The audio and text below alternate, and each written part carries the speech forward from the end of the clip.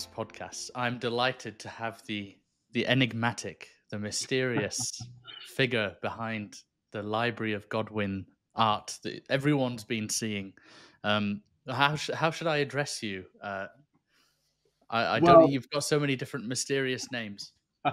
this is my, I guess, my official reveal. My name is Caleb, Caleb Williams, um, but I go by Godwin, and that's that's kind of the brand that I do all of my art on. So you can just call me Caleb for now. That's Caleb, not not Godwin Scribe. or, no. or, anything like that. yeah. What, what is what is Library of Godwin a reference to? Okay, so that's I, I thought that might come up, so I've actually brought a little bit of a prop. Um, I'm a bit of a, a, literature nerd. Most people will probably be familiar with uh, Mary Shelley, who wrote Frankenstein. Yeah. Her mother was Mary Wollstonecraft, who was a, a popular feminist writer, early feminist writer, and her father was a man named William Godwin, uh, a British author uh, and kind of one of the first British libertarians. So he's got some really great right, political writings. But he has one book that one of his more famous books is called, and I don't know if you can see, it's called Caleb Williams. Oh, the Adventures of Caleb Williams, which is my name. So I actually have this 1838 edition that I hunted through uh, a, an antique bookstore out on the border of Wales to find.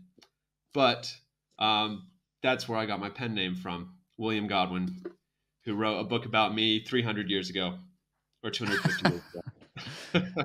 there we go. And um, and tell me, you uh, you have an accent. Is it is it an American one? It is an American one. You are from yes. America. I do hail. Yeah, I do hail from America. Um, born and raised there. My dad was in the Navy, so I actually grew up all over the U.S. and and some different countries. But my wife and I met at BYU, and she's from Britain uh, actually where we are in Cheltenham. So after I finished up at BYU, we moved out over your way, and and that's why we're here. Great. Yeah, I, I did wonder that because we've talked a lot, but we haven't spoken. yeah, you've never like heard this. you've never heard my voice. Yeah. Yeah, long overdue. Uh, so, Caleb, you've had this unique idea to follow "Come Follow Me" this year with with weekly sketches of what's happening in Scripture. Um, so, tell me why you well, why did you want to do this? How did this idea come about? Um, partly it was last year as we were getting ready for this year's Come Follow Me. I thought back to the full cycle, four years of Come Follow Me, and realized that I was pretty rubbish at, at doing it. I just wasn't very good at following along. I sporadic readings here and there. Um, so I was I wanted to find a, a, better way to involve myself and to immerse in the text. And uh, I love art. It's kind of a way that I channel some the spirit in in a lot of ways. And so I thought, as a challenge to myself, I was going to push myself, and every week I would read the "Come Follow Me" passage, and I would find one thing, uh, one event or character or doctrine to illustrate. And I tried to focus on things that I hadn't seen in Book of Mormon art before, and that helped really push me to explore some ideas that um, I think are unique and interesting. Yeah, this this is um, your style is very unique. It isn't reminiscent at all of of what we expect from Latter Day Saint art, and I think that's quite refreshing. I think we've seen quite a few in the last several years. Um, people pop up with art. Say um, Anthony Sweat's art is is quite unique. We have um, I, I don't know how to pronounce his name, but he does the cubism. Um, oh yeah, um, I'm, I'm, familiar. The name's forgetting me. Uh, I think his first name is Jorge, um, but I I don't know the, the other name. And then I, I saw yours come up on Instagram, and yours is more kind of esoterical, ancient looking. It's what you'd expect on the friezes of of a Roman or or Greece temple, Greek temple. I mean, what inspirations did you draw, and how did you develop this unique style of yours? Yeah, so I think it's it's it's very interesting to look back on the history of Latter Day Saint art and, and where we get those influences from. Um, we have to remember that the early saints, the early pilgrims, they didn't come fresh into the church. They brought with them the culture and um, the identity of their previous religions. And for a lot of those early saints, they were Methodists, uh, Presbyterian, Lutherans, um, and a lot of those artistic styles and ideas came along with them. And in a lot of those faiths, there there is a bit of a hesitancy or an aversion to depicting religious scenes or figures in a in a certain way. So that's where you get this very toned down, very grounded, realistic. You'll see a lot of nice paintings of scenery or of uh, it's just not very symbolic the artwork. Um, and that's a purposeful part of the religious heritage that i think the early saints brought. Now my style as you said it is influenced a lot by um, by ancient european history ancient european styles. So actually when i was a kid my dad was stationed in the navy uh, in italy. So from ages like six to nine i lived in in italy and obviously, being in Italy, I was surrounded by the Catholic churches and all this amazing, just marvelous Catholic art, artistic tradition, and heritage. And so, from a young age, I was kind of brought up in that, and I, I learned to love that. And there, there weren't a lot of Catholic converts in the early church, um, or Orthodox, or these things. So that religious, artistic tradition wasn't brought in, um, and hasn't really played a big part in Latter Day Saint art except for in the temples, we do use a lot of symbolism and we do see a lot of the kinds of things that you might see in the Catholic churches. But outside of the temple in our in our church buildings and in our books, you just don't see it as much. So I guess as I was approaching this Come Follow Me, I was taking all of this European religious art that I loved uh, from the early modern period, the Renaissance, and I thought, hey, why don't I bring that style, integrate it into the restored church and into the Book of Mormon and the Restoration and all of these unique and amazing doctrines that we have that that we don't always think about in these symbolic terms or in these artistic terms. Mm-hmm. That's really interesting. Um, and that you're right. There is a. So I had a conversation recently with a friend who's an architectural historian, and we were talking about symbols in architecture and and how architecture links with faith. And our buildings are very kind of utilitarian. That they fulfill a purpose. But but he hadn't kind of opened my eyes to the symbolic nature of like well where are you looking at in your congregation? Yeah, um, yeah. and I, I thought to myself on sunday well i'm looking at the pulpit.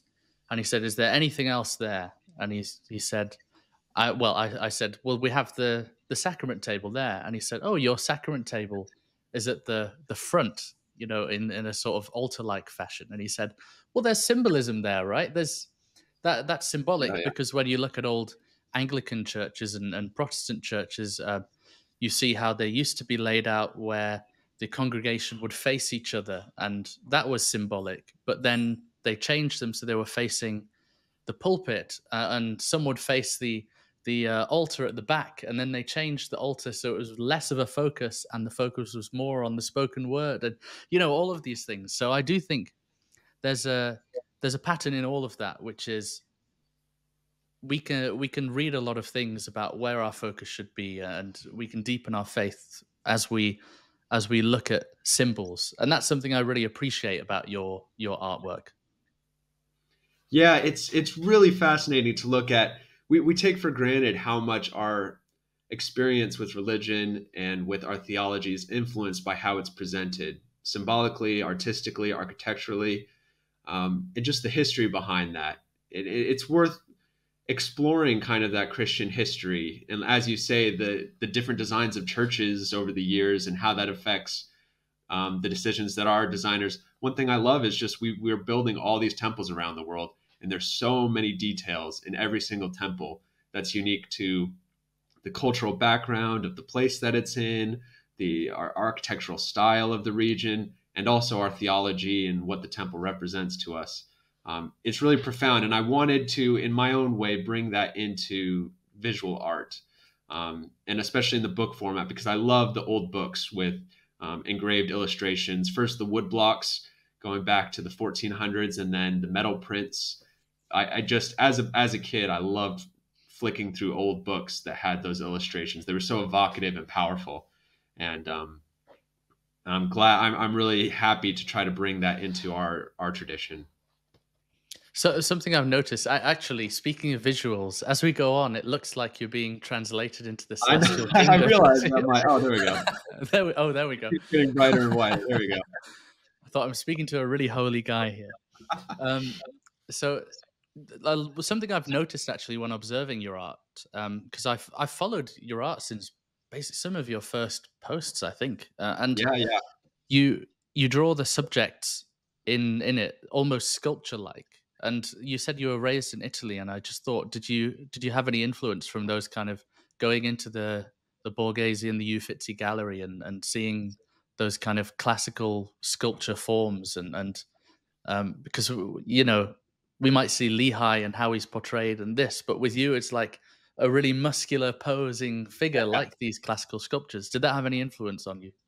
Oh, definitely. A lot of the inspiration when I when I have a piece in mind, I'll then go and look for poses from um, the old European masters, either in sculpture or in painting. I think there's just a drama that that they were able to portray through those poses, through the the physical stature of the figures.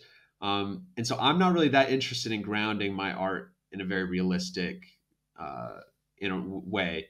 I try to incorporate those kinds of power poses that aren't very natural, but that carry a lot of emotional weight. Um, and so, yeah, you, are definitely observing right. I spend a lot of time on Pinterest or just on Google or from my own travels. I just take pictures of statues all the time in different um, angles and trying to get different perspectives. And that definitely influences my art. I've got this thread on on Twitter saved, bookmarked that I often will go back to and kind of look through again, which is um, when people were able to turn marble and eh, and stone into silk. You know, when they yeah yeah when they've um, like the the veiled Christ. We we were in Napoli recently and we tried to go see it and we didn't realize you had to book tickets in advance. But things like that just they astound me. But tell us your process um, each week. I, I would love to learn how you go from okay, I'm sitting down to reading my uh, "Come Follow Me" segment of the week to posting uh, this finished, uh, beautiful piece of art. Yeah, sure. So yeah, I'll just open up the "Come Follow Me." I'll look at what. I don't worry too much about the topics or the questions in the "Come Follow Me." I'm just focused mainly on what are the ch- chapters for this week, and then I'll go through and I'll skim through the chapter headings first and see if anything stands out from that and if I don't quite have a subject from there, then I'll dive in and I'll look. And as I'm looking, I am kind of drawing from that bank of religious imagery and symbolism. Um, it's definitely a language. Sym- symbology is a language that you have to study and learn over time. And so as I'm reading, I'm paying attention to that. I'm trying to see what symbols can I draw from this. And usually, most weeks, it'll stand out to me what I should do and I lock in on a certain scene or figure or doctrine. And then I have to start thinking about how I'm going to portray it. Sometimes it comes quite easily. It, I can very I can visualize right away what it needs to be and what the pose needs to be and what the framing. Sometimes I play around. I do three sketches, three different versions, and I play around. Um, and then yeah i'll look for some inspiration in poses. I'll go through pinterest. I'll go through my kind of bank of photos.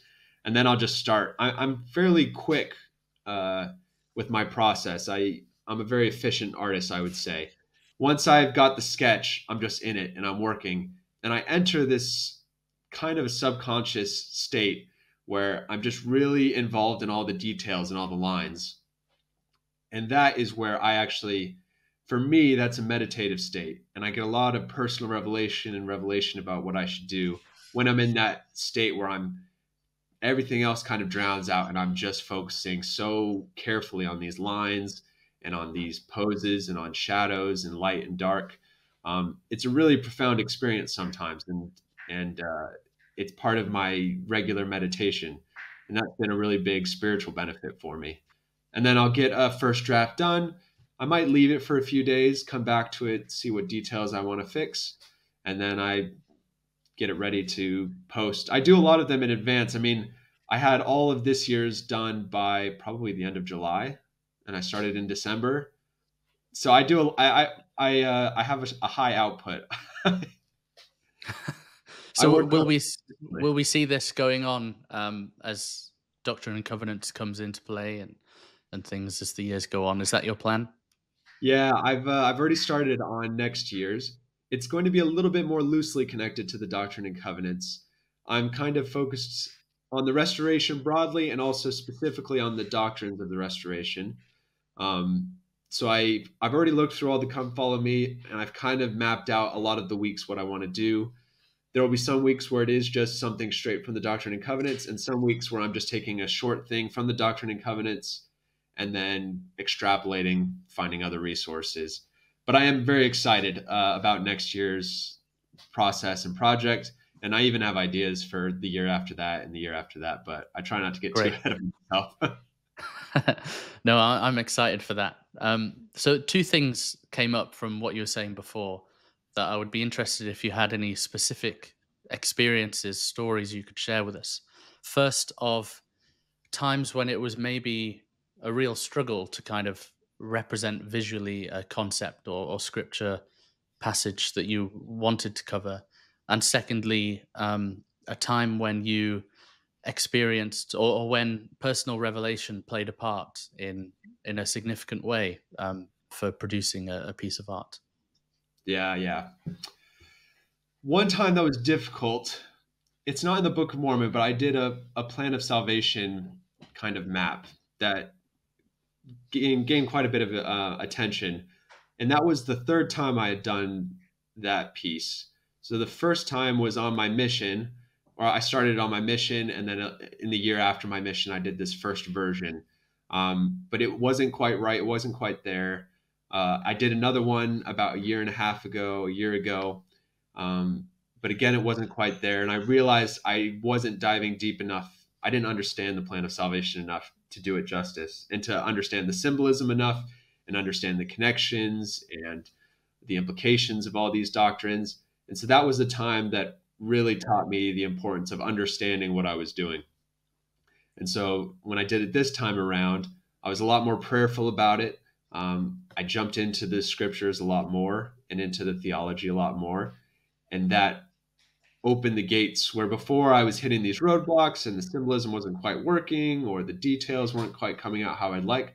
This time it flowed a lot more a lot more smoothly and that came from understanding. Like I said, symbology is a language. So if you're going to communicate in it, you need just like any language, the ideas need to be clear first.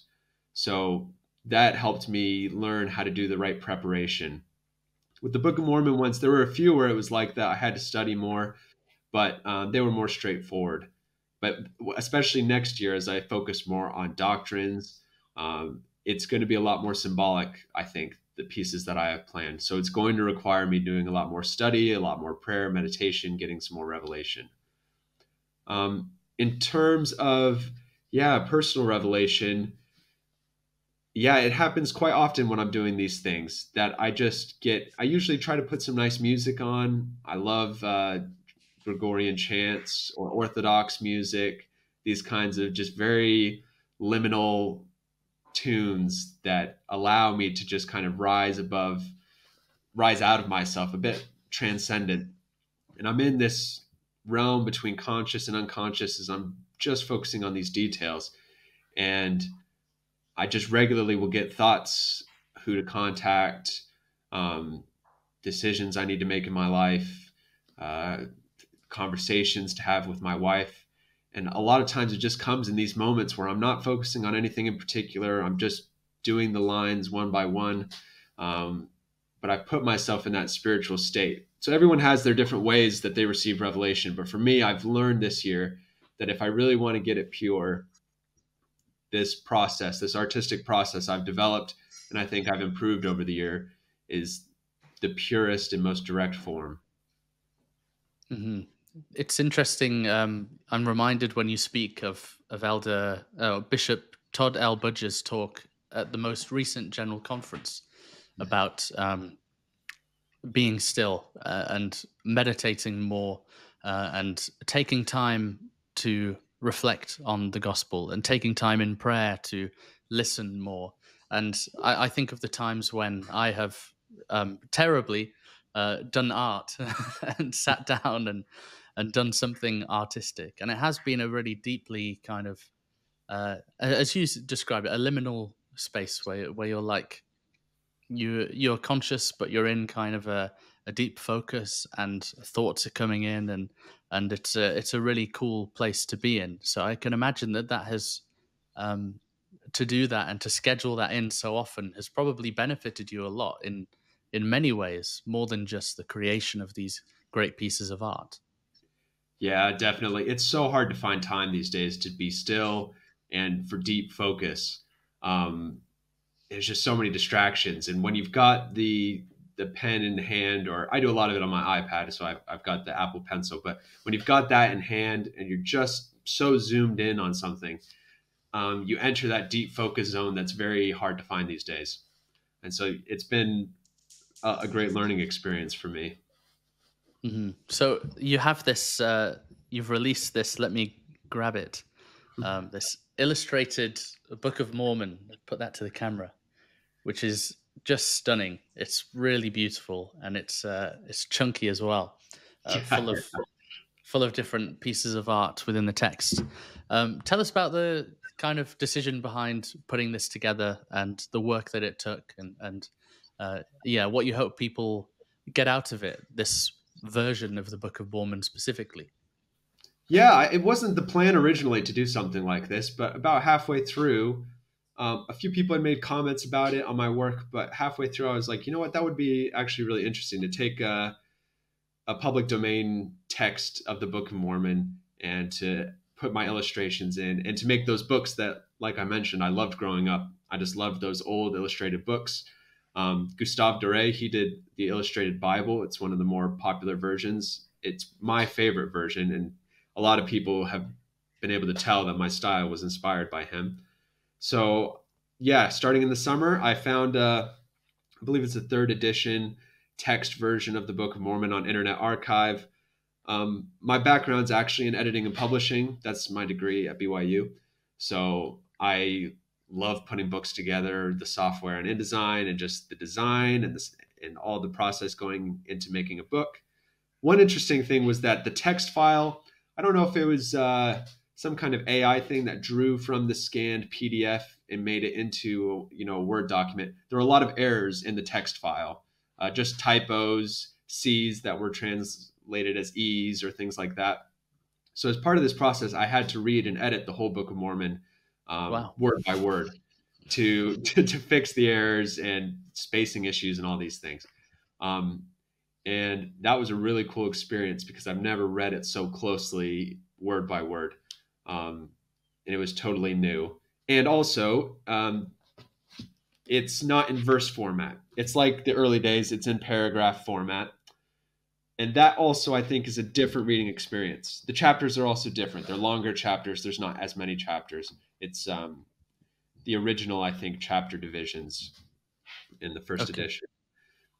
That gives it a for me that gives it a totally different read. So members who've read the Book of Mormon dozens of times in their lives, when you read it, a without the verse numbers in paragraph format, and b where the chapters are divided separately or at, different points, you do get a different perspective. Things pop out at you that wouldn't normally. Storylines or themes or uh, characters connect in a different way. So my hope, my real hope, is that this gives a new perspective to the Book of Mormon, um, causes us to read it in a different way, in a way that we wouldn't usually have, and hopefully that will help deepen people's testimony of it. I know it, it has for me, um, and in portraying things in a way that's not familiar, new ways to depict these scenes and these characters and in formatting the text this way, I think it offers a, uh, an experience that almost feels like reading it again for the first time. Right. Yeah, that's cool. So I was going to ask about the verses. So that was a very conscious thing that you did to to change the the kind of experience to deepen the experience of of reading. Yeah, that's the uh, from those editions they didn't have verses, and uh, I think it gives it a whole new. It just flows differently um, and it it makes it a lot. The narrative is much. I don't know. I don't know how to say it. it it's more impactful, or it, it drives home a little bit more with verses and with these short chapters. Just psychologically, you have these starts and stops and starts and stops. Whereas within a paragraph form with long chapters, things just connect in a way that you wouldn't have recognized just looking at the verses, or at least I didn't. Yeah, well, I, I was actually pleased to see that you did that because I that's kind of one of my feelings as well is that I kind of my little hot take that I I don't think they should have put the verses in perhaps um but I, I get that it's easy for reference um yeah yeah but but I, I just especially when you get to these uh, long rolling deep uh, sermons that we see in so beautifully in the Book of Mormon, which I think is really unique to the Book of Mormon. Um, chopping them up just seems criminal to me, but but no. Um, uh, so I I appreciate that. I do. Um, now, recently you were in Italy traveling, and yes. you said that you lived there before, and it seemed like you had a lot of um, you learned a lot of stuff on that travel. You've posted about it a couple times. Um, I, what did you learn from that experience about your art and and yeah, tell us what you were learning from your exploration there. It sounded really interesting. Yeah, so I I travel for work a lot, and uh, on my travels, I always try to go see these cultural and artistic locations. Um, I gain a lot of inspiration. I love seeing different cultures and their cultural heritage. Um, I was in Italy, and on my on this business trip, I learned I was going to be passing near Ravenna, and I had been hearing on some different podcasts, um, LDS podcasts, about the art in Ravenna and how there's a lot of connections to the temple that you could find. And I was able to just change around my schedule a little bit so that my free day I would be close to Ravenna. And I took the day and I, I traveled out there. Now, Ravenna is a very unique place. The churches there are from the Byzantine era, so very early Christianity, fourth and fifth centuries. These are some of the oldest uh, churches that we have around. And the art there is really striking. I wrote an article on my website about it on libraryofgodwin.com. Um, I, I brought my camera and I took lots of pictures. Now, some people will think that some people have thought that what I was saying was that the LDS temple endowment was being practiced by Byzantine Christians in the fourth and fifth century AD. That's not what I think, and that's not what I saw.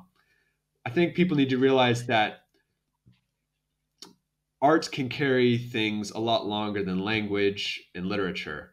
And so some of these artistic symbols and themes and motifs, I believe, survived into Christianity, even when the Christians who made them didn't quite know the meanings. And I believe that in the mosaics at Ravenna, it's all these beautiful mosaics um, in these cathedrals and these baptistries. There's a lot of connections to the temple that LDS scholars have talked about before, but I went and saw for myself and got to, to see the different perspectives. You've got very interesting marks in the robes of um, a lot of the figures who are dressed in these white, uh, very Roman esque robes. You've got these scenes of sacrifice of Melchizedek and Abel offering up sacrifices to a hand, the hand of the Lord appear, appearing from the clouds. You've got these uh, beautiful depictions of, in one of the big churches, along the long nave of the church, on either side, there's a procession. On the left are all the women, these uh, female figures, and on the right are all these men, and they've got marks in their robes. The women have veils and they're carrying crowns.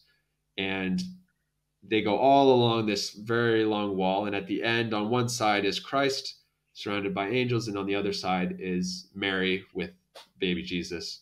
Um, but as i've learned about you know the temple and the wedding procession that kind of is implicit in the temple ceremonies um, from some of these other great researchers we have on youtube in the lds sphere uh, I saw a lot of amazing connections. So I invite everyone to check out, you know, my photos and do your own research. But it was a, a very cool experience. And I, I really do think that, especially the further back you go in Christian art, you find these echoes of the temple rituals, of the early Christian practices that we know have been lost over time because we, we have these apocryphal texts where we see the remnants of these things um, that were just lost over time in the Christian tradition. Hmm I, I love that they don't only serve as a kind of record of what people are thinking at the time, traditions at the time, but also the depiction itself, artistically and stylistically, is uh, teaches so much. And, and I wonder if you could speak to that of sharing from an artist's perspective of just how art can help us connect to God more and um, connect to the transcendent and deepen our faith and help us understand Scripture more. Yeah, there's something just so. Part of it, I think, is that art is a purely creative process. And so that connects us to God in a really intimate way. In that that process of creation, of coming up, of taking kind of chaos, all these rough materials that the artist has, and bringing them together into something beautiful is something that brings us closer to God. It helps us understand Him and it helps us understand ourselves better. It's like music as well. You know, the the world. I think the world meets you where you approach it. So if you approach the world as this cold, miserable place of suffering, of death, of endless chaos, then that is how the world will meet you. Um, if you approach the world, though, as a place of beauty, of mystery, um, if you allow yourself to remystify your experience with the world, to become like a child and see the world as a child might see it, and see the beauty in nature, in music, in humanity, that that's how the world will meet you. And I think that what art does is it helps people to do that. It helps people reorient their relationship to the world, to reality, um, and to God. So it helps, you know, when you're working all day, if you think back to these ancient peoples, when you're working in the mud all day, struggling for every meal, um, that is a cold and cruel world. But that art that they came and gathered and saw once a week, uh, that music that they could hear coming from the chapels, that reoriented them, take them, took them out of the mud and out of the the gritty reality of life and oriented them up towards heaven. It's easy to forget that in a very comfortable modern world. And I think our modern art reflects that. Modern art doesn't ask the viewer to look beyond humanity, it doesn't ask us to look up, um, to think celestial, if you will. Um, but I think that's a shame. I think that we can we can still gain a lot from reorient, reorienting ourselves up towards heaven. And that is what I hope my art can kind of accomplish a little bit. Now, I, you know, I'm always looking at the masters, and so I always fall so short of their skill. I'm always studying the techniques and the compositions and the approach. But my, I guess the thesis of all of my work is that art, beauty, is truth. That true beauty connects us to truth, it connects us to God, and it helps us look up. And so when we create, when we channel that creative power that comes from God, we should do so with the aim to draw people towards heaven. Mm-hmm. There, there's so much to unpack there. Um, yeah, I uh, that I, but I think it's worth um, delving into a bit deeper. And so I, I come from this as one of my first um, jobs out of university was the assistant to a a world renowned country house painter artist, mm, yeah, and yeah. Um, he was called Jonathan Miles Lee. If if anyone's interested in looking him up, and I I was his assistant till the day he died um, at 52 from cancer, and so I learned that was kind of that was a very formative time in my life about learning about the importance of art, learning about beauty, and even he he knew his work was great. He knew he knew how good his work was, but again, every day he would look to the masters and and really um, again kind of admire them and and admit his shortcomings in terms of what they were able to accomplish. But I I appreciated that humility in him, and I think that humility allowed the kind of his best work to continue progressing. You know, he doesn't look back and say, "Oh, my best work was years ago." It was it was always an onward thing. But he would always quote Sir Roger Scruton, who said, uh, "Beauty is a value as important as goodness or truth," which um, I've thought about a long time because I'm like, well, what does that actually mean? What does that mean? And you get into that debate of is beauty objective or is it subjective? Is there um, is there a defined thing in that? And you know, I, I'm I think I would say I'm a believer in objective beauty because we see throughout time and history these arts that have stood the test of time, and and currently we kind of have a a slight dearth of of uh, beautiful modern art that really does bring you up to heaven. And linking that to architecture, um, my friend who I was talking about before would say, when you see beautiful architecture like an impressive cathedral, it glorifies God because it is the best of what man was able to accomplish, you know. And he recited a, a kind of, I think it was a kind of Baptist hymn where it'd say, I'll, I'll use my mind to glorify thee. I'll use my mouth to sing praises. I'll use my hands um, to glorify God. And these creations of, of music, of architecture, of art, they're all people when they when they are really beautiful. Um, they're people who have done their absolute best with everything that God has given them to make something that glorifies God. And so I think when we see those now, um, there's so much to them in that it's uh, they stand as living testimonies, and I think there's something really special and faith promoting about that. That's my rant, my ramble. No, absolutely, yeah, that, that's all absolutely true, and it's uh, the law of sacrifice in a lot of ways. If you think about, you know, there's yeah. lots of you know the socio-political and the economic reasons why cathedrals were built, but at the end of the day, in an age where food you had to work very hard to feed yourself, and running a town or a, a nation required massive amounts of resources.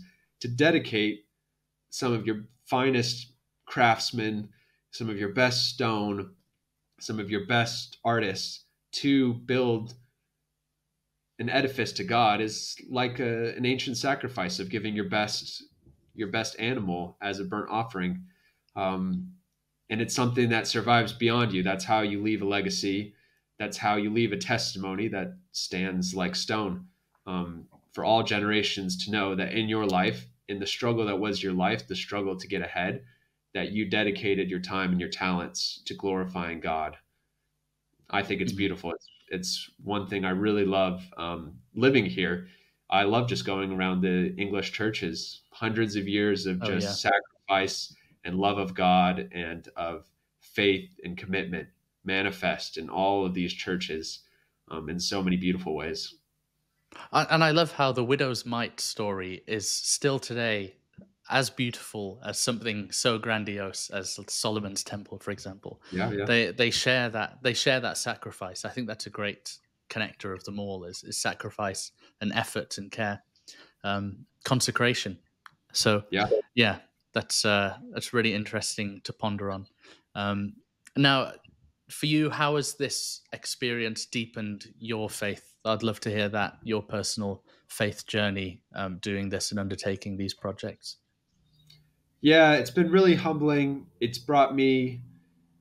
It's just required me to look inward a lot more and to evaluate my relationship with God in a lot of ways. I've always been quite faithful in the church and attending, and I, have never really had big faith crises. You know, I've read things that shook me a bit, and then I studied more and, and found my way back. But during COVID was probably the when I was the most distant from God or just from my faith. Just that time when we weren't going to church regularly, where everything was on Zoom. Um, and it wasn't that I lost my faith; it just it wasn't a very big part of my life, and uh, I, I'd grown distant and um, very passive. And so this has been an experience that has really made me get active again in the way that I interact with the gospel. One thing I I realized and, and as part of my approach artistically is that each generation of the church I think needs to make its contribution to the culture and to the art of the church. If you only passively enjoy the art of the past and the heritage of the past and the hymns that were written in the past, you're no longer a participant in the church and in Zion. You're just kind of like walking through a museum of it. Um, and I think that that sometimes happens with our younger generations is that we think that everything is just the way it's always been in terms of the culture and the traditions and the practices. And instead, I think we should be really involved in in making our mark on it, in honoring the artists that came before. I love Arnold Friberg and Minerva Teichert and all of the great artists um, of days past. And I want to contribute to that and uh, be a part of that cultural heritage and part of that story. And I hope that our generation will will learn that we don't just need to be observers of the culture. We don't just need to be participants. We keep the traditions, but we also add to them. We add our own um, that are relevant to our time, to the problems that we face now, to the ideas that we face now. And that is something that I hope a lot of other artists, and I have seen it, but a lot of other artists and musicians and um, writers will contribute to our culture. A living church. Mm. See, I, I agree with that, but I would take it even a step further that it is critical to someone's faith and uh, yeah, yeah, and and salvation essentially. I mean, ultimately, um, because that is fulfilling the measure of your creation is to is to create things. We yeah. we're here to learn and become like God, and I, I often think when I'm at my desk job of like, man, however way I package this job, I am still typing on a computer. yeah. even if yeah. I'm like, even if I work myself up the the title ranking and and I'm a vice president of operations in the northeast, southwest, London, Birmingham central area. You know, it's still day, yeah, yeah. I, am still inputting data uh, and stuff, and and so this this question of I need to get myself into something creative because that is who that is my identity as a child of God is a is a child of the ultimate creator and I'm I am on a pathway to creating for eternity myself and, and continuing to do that. And so, I mean, that's why I love doing this because for me, it's it's that output of, okay, I, I'm I'm building something, I'm creating yeah. a, a, body of work, but I think physical things are even more important. You know, I, you um, these traditional jobs that that people used to do more whereas now as i say it's we're inputting data a lot but like yeah, yeah. um the the blacksmith in the local village you know creating a piece of work from start to finish and seeing it as i think it's actually so important um so i would implore everyone listening if you don't have that kind of creative part of your life um then do it because as you show it will make you so much more intentional about your faith um, and and deeper in it. Hopefully hopefully i'm not just yeah. spouting things there. No that's that's absolutely the case and um, working with your hands like you said we're just in the digital world we're very disconnected from the earth we're very disconnected from our surroundings and everything lives in this digital space. Um, but I really think you have to have some hobby or some creative outlet where you're you're using your talents in the world to help other people, to lift other people up, and to glorify God. It's such a beautiful process. It's very enriching to the soul, I think. And as you say, critical. It is critical. Now, to finish off, I thought it would be fun to go through uh, some of your favorite pieces and kind of just pick them apart because they are so rich with symbolism and see where your mind's at. Um, yeah, so yeah. I, I, have on my on my phone here. I have your um, a lot of your work, and I'll put them up on the screen so people can kind of follow along. But let us know what's your kind of personal favorite. Would it be the Plan of Salvation one? Do you think, or do you? Do you oh yeah, one? yeah. Uh, that one, that one, I'm, I was really happy with. Uh, I really liked the the Kolob one I did just because I thought that was uh, something I'd never seen before, and so I was mm-hmm. really happy with how that one turned out. In terms of the Book of Mormon, in the Illustrated Book of Mormon, I was really happy with the Alma 32 about the the process of faith. Uh, okay. And it's on page 327 of the Illustrated Book of Mormon. We can go into the kind of symbolic details there. Let's do it. 327. Oh, yeah. Wow. Yeah. So this one, uh, people will notice some of my illustrations are more detailed than others. This was one of the ones that was more detailed, took a lot longer. And I, I did several versions of this to get it how I wanted it to be. But I wanted to show um, the process of faith as described in Alma 32 in acting on the word and growing it and the fruits thereof. And I think this chapter also really relates to the temple and what we get out of the temple. And there's been some really good uh, work recently about the temple symbology, which I've tried to bring in. So we start on the left, and you've got a woman planting the seed. You have the Holy Ghost guiding her, or the Holy Ghost is present. So I want in the form of a dove here, but to show that the Spirit is what entices us to act on the word and to start that process of faith. Um, it's the influence of the Spirit. You have the sun shining down on her. Um, that's also guiding her, and that, that will also be necessary to the nourishment of the seed. You've got this spring that's running by her, kind of the living waters, also connecting you to Christ. And then you move a little bit further and you see her pruning and tending to the tree. And in this stage of her faith process, um, there are dark clouds and rain in the background um, to kind of show that the process of growing the word, of nourishing the word in you, comes with trials. That's where you're going to meet the the trials of faith, the catastrophes in your life. Um, where the rains will come and threaten this weak little sapling tree that you're going to have to protect from the winds, that you're going to have to protect from the weeds and the predators. Um, but that as the sun was necessary for the seed, also the rain is necessary for the seed, and that growth will come um, from those rains. And that leads you then into the, the third and final stage, where the word has grown into a tree, a tree springing up unto everlasting life, is what it says in the chapter. Um, you've got the lamb at the base of the tree, which is a, a representative of Christ, just to remind us that all of this draws us to Christ. Um, the tree is obviously also a very s- symbolic thing in the temple and throughout the Book of Mormon. It's the tree of life with the good fruit um, that is most desirable. I have even a little uh, honeycomb or a beehive rather in the tree. Um, there's also great symbology with the temple and with the beehive and the honey as being sweet. Um, and you have the woman here.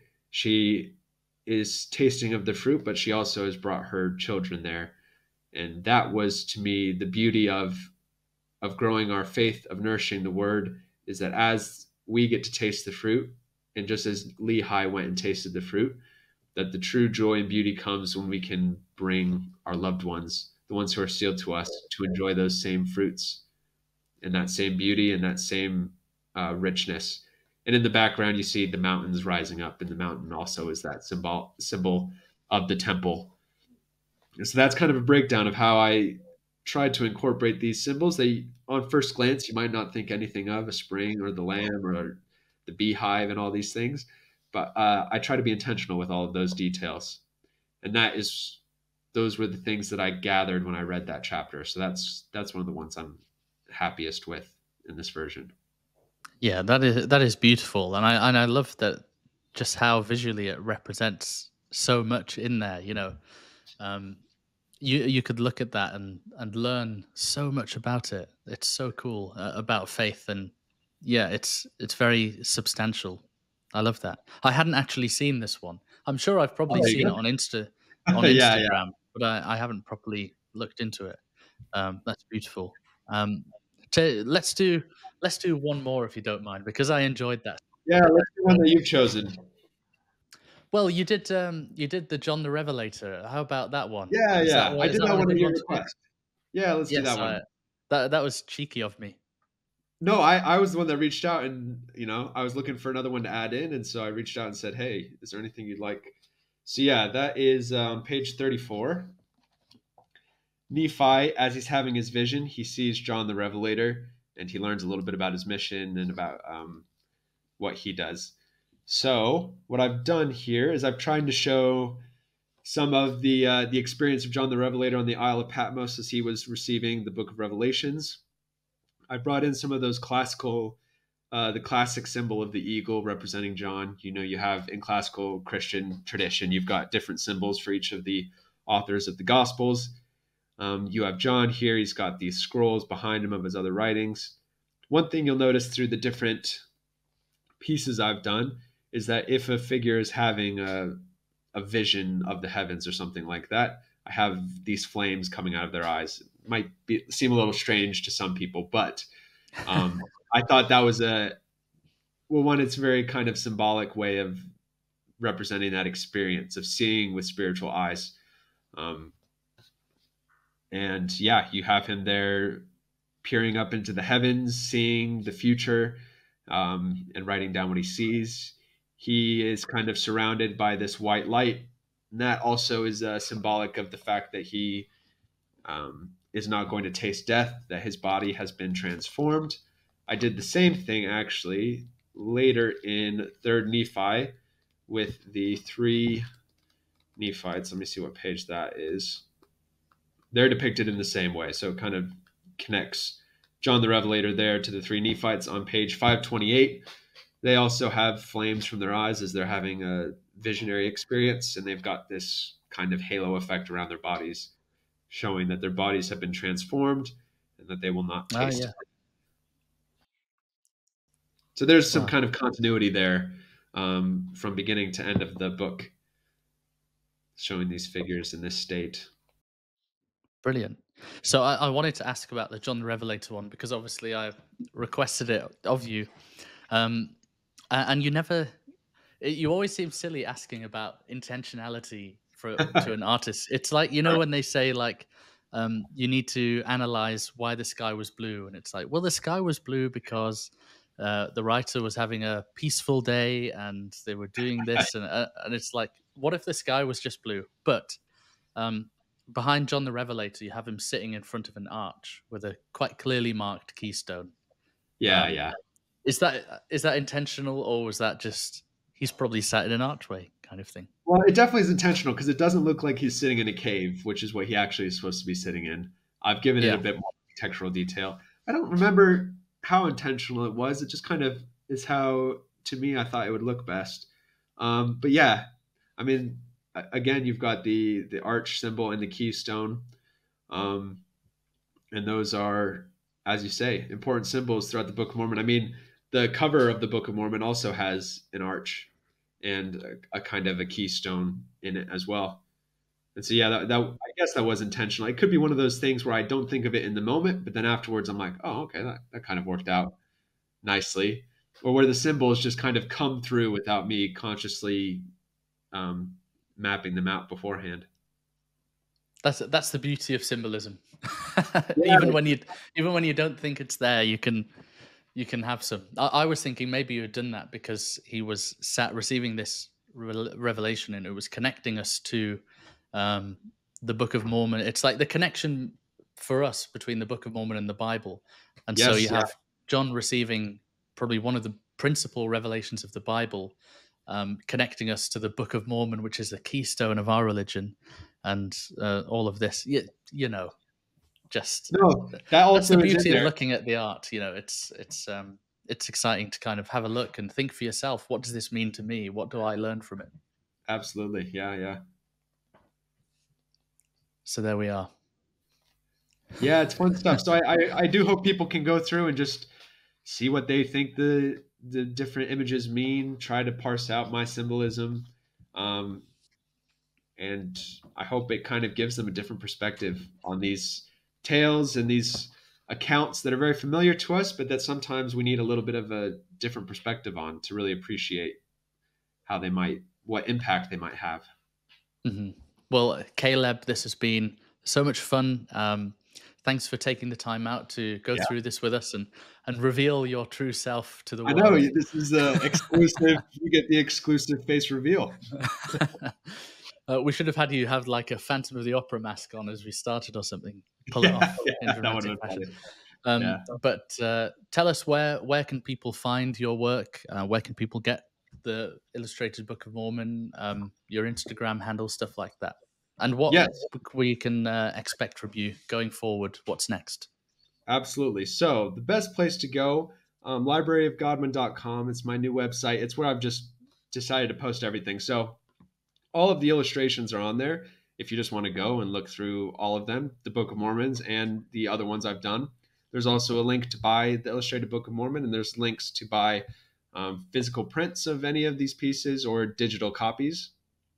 So that's kind of the, the go to place. You can also go to Instagram at library underscore of underscore Godwin, or I believe it's the exact same on X. Um, and on Facebook, I think it's just Library of Godwin as well. Um, I am, upon request, I am currently working on doing a hardcover version of the Illustrated Book of Mormon. It's nice. too many pages. It's too many pages to do the full thing. So what I've done is an abridged version that will have just the illustrations, and then on the opposite page, it will have that passage of scripture that relates to the image. And I've tried to make it all kind of fancy and nice, the layout. Um, but I'm excited about that. I think that will be really nice. So I'm hoping to have that out in the next few weeks as an option. And then, yeah, next year it's full steam ahead. Still planning on doing a weekly post. And there will be some uh, book compilation at the end of next year as well that I've got in mind. Um, so I'm just going to keep going. Marketing genius, getting it ready for Christmas, say. uh, yeah. yeah, we can. no, thank you so much for coming on the show. It's been really enjoyable and glad to finally uh, chat to you properly. Yeah, thank you very much for having me. Thanks for watching For All the Saints. This show needs your help to grow. Please like the video, comment your thoughts, subscribe to the channel, and share this with someone you think would enjoy it. Thank you.